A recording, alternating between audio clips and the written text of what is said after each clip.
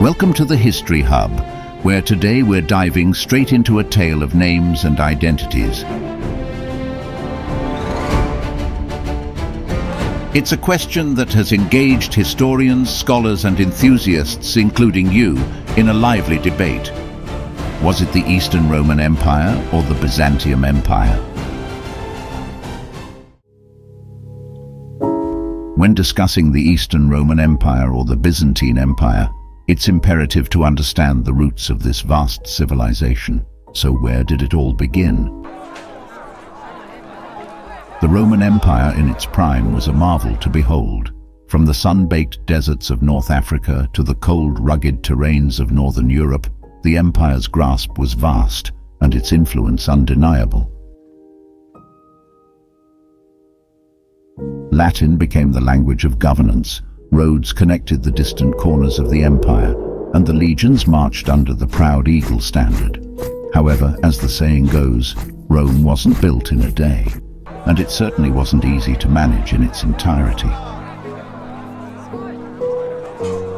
The vast size of the Roman Empire brought challenges, communication lags, external threats on distant frontiers, and administrative complexities began to strain the cohesive strength of the empire.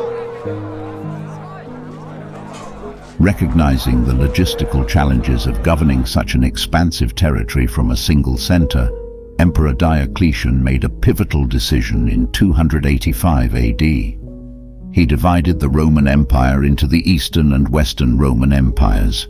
While both halves shared cultural, legal and military practices, this division was a practical solution for administrative and defense purposes. The Eastern Roman Empire, with its rich provinces in Anatolia, Egypt and the Eastern Mediterranean, began to flourish.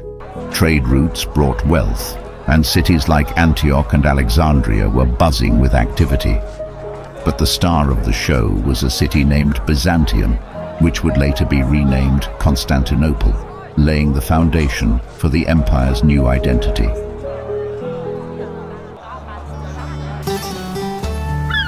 Before the grandiosity of empires and the debates of historians, there was a city. A city that would become the heartbeat of an empire and a beacon of civilization. That city was Byzantium. The tale of Byzantium began long before the Romans set foot on its shores. Founded by Greek colonists in 657 BC, it was named after their leader, Byzas. Located on the European side of the Bosporus Strait, the city held a strategic significance that was evident even then. It stood as a guardian to the only passage between the Black Sea and the Mediterranean, controlling both trade and military movements. The Romans, ever expanding and seeking control of crucial trade routes and strategic locations, turned their gaze towards Byzantium.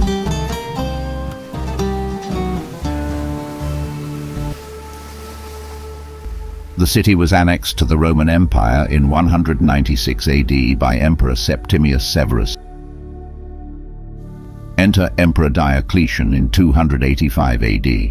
The empire had been plagued by decades of economic downturn, external threats, and short-lived emperors. Diocletian had an ambitious plan.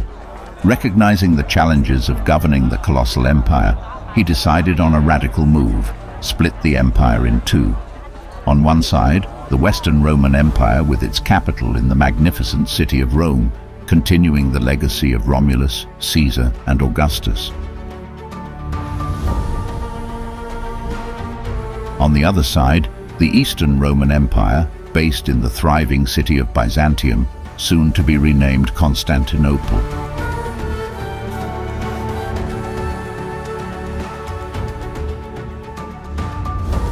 This strategic location bridged the gap between Europe and Asia and was ripe for growth. This division wasn't just about making administration easier, it was about survival. However, while the Western Roman Empire would eventually face decline and fall in 476, the eastern half continued to flourish, outliving its western counterpart by almost a millennium. The heart of our confusion lies in the illustrious city of Byzantium, later renamed Constantinople in 330 AD, and much later, Istanbul. As the capital of the Eastern Roman Empire, it thrived for centuries, outlasting the Western Roman Empire. The empire's citizens, speaking Greek and practicing Orthodox Christianity, still considered themselves Romans. Yet as the city evolved, its identity merged with various influences, making it distinct from ancient Rome. A pivotal moment arrived in 1054 AD with the schism between the Eastern Orthodox and Roman Catholic churches, underlining the widening chasm between Eastern and Western cultures. The Ottoman Turks, under Mehmed II, brought the an end to the empire by capturing Constantinople in 1453. Fast forward to the 16th century. Hieronymus Wolf, a German historian, sifted through manuscripts and records aiming to chronicle the Eastern Roman Empire. In doing so, he started using the term Byzantine to differentiate this medieval empire from its ancient Roman predecessor. Wolf wanted to distinguish between the Latin-speaking Romans of antiquity and the medieval Greek-speaking Christians. His works, especially the Corpus Historiae Byzantinae, became foundational for later Byzantine studies. As a result, Byzantine became a term used predominantly by Western scholars, painting a picture of an empire distinct from classical Rome. However, it's crucial to understand that this was an external label. Citizens of the empire had always seen themselves as Romans, Romaioi in Greek. They never adopted the Byzantine identity. It was a posthumous title bestowed upon them by later generations.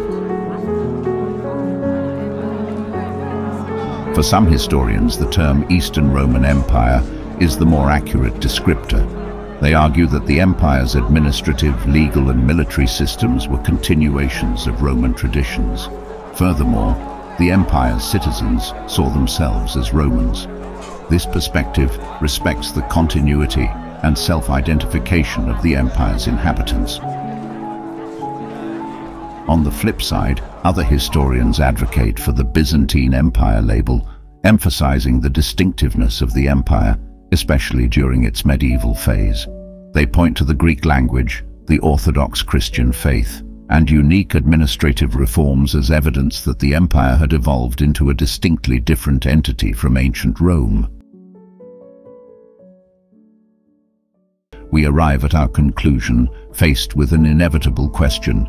Eastern Roman Empire or Byzantine Empire, which name do we settle upon? The answer, as with many historical debates, isn't black and white. It depends on the perspective one wishes to emphasize. If we want to honor the self-identification of the empire's citizens and the continuity of the Roman state, Eastern Roman Empire stands as a fitting choice. It reflects the empire's deep-rooted connection to the grandeur of Rome and its lasting legacy. Conversely, if we aim to highlight the empire's distinct evolution, cultural shifts, and the blend of Greek, Roman and Christian influences that made it unique, Byzantine Empire captures this essence beautifully. It underscores the transformation of an empire that carved its own identity in the annals of history. Ultimately, both names offer a glimpse into different facets of the same historical gem. As students and enthusiasts of history, our task is to delve deeper beyond names and labels, to understand the essence and the myriad stories that lie therein. Whichever name you prefer, the empire remains a testament to the fluidity of civilization and the rich tapestry of human history. And with that, we conclude our journey for today. Stay passionate, stay curious, and until next time, keep exploring the vast corridors of our shared past here on the History Hub. And as always, hit subscribe for more epic tales from history.